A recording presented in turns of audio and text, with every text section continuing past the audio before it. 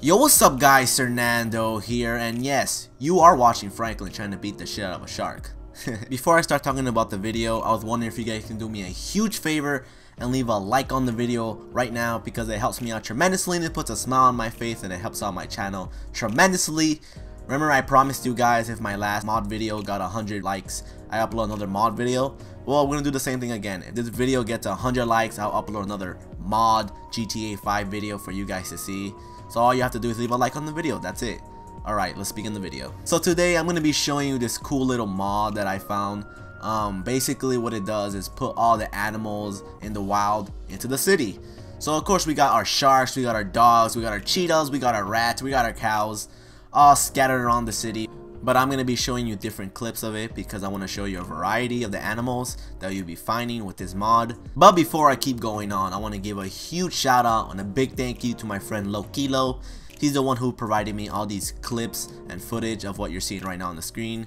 He gave me permission to use his video. So if you guys can do me a huge favor and check out his channel, which will be a link in the description, he has a bunch of more GTA 5 mods that you probably didn't see already.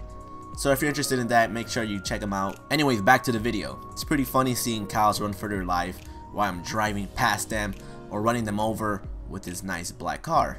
And now this is a pretty funny scene right here. Um, you're gonna see mountain lions around the area. First I thought they were cheetahs, but I've been corrected by a few friends telling me they're mountain lions.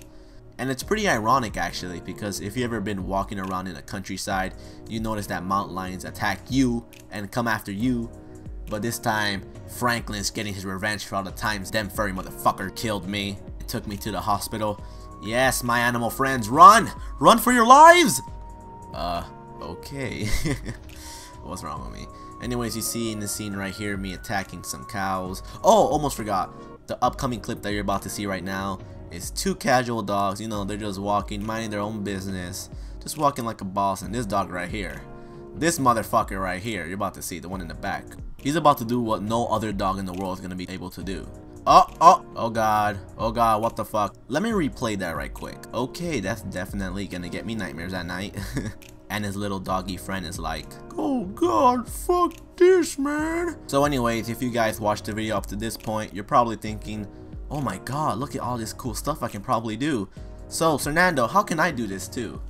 Well guys, the only way you're able to do this is to have a hacked Xbox 360 or PS3. There is no other way to do this, so if you don't have any of those, then I'm pretty sure you can't do this. So anyways, if you guys enjoyed the video, please, please leave a like on the video it helps me out tremendously. And if you guys were able to get 100 likes on this video I'll be sure to show you even more cooler mods than this one later in the future. If you haven't already please subscribe to my YouTube channel. I'm trying to hit 10,000 subscribers. Also follow me on Twitter where I answer all your questions there. Anyways I'm gonna see you guys in the next video. Bye